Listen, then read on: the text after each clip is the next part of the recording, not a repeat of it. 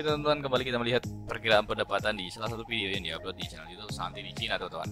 Video ini dengan judul jual bakso bakar di Cina pakai food truck dan durasi videonya 24 menit 0,4 detik.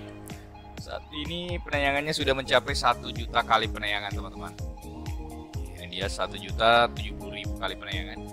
Dan kita akan rilis terbaru video terbaru atau pendapatan terbaru estimasinya ya, estimasi pendapatan terbaru yang diperoleh dari video ini dengan penayangan sebanyak 1,1 juta kali penayangan ini melalui pembulatannya.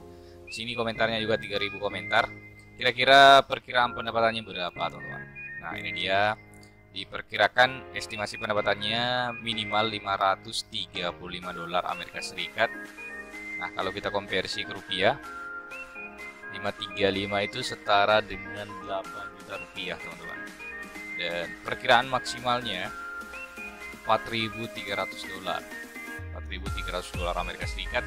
Nah ini kalau kita konversi ke rupiah setara dengan 64 juta rupiah teman-teman. Jadi perkiraan pendapatannya berada di antara 8 juta maksimal bisa mencapai 64 juta rupiah.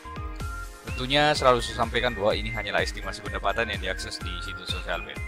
Semoga teman-teman terhibur. Terima kasih sudah menonton dan sampai jumpa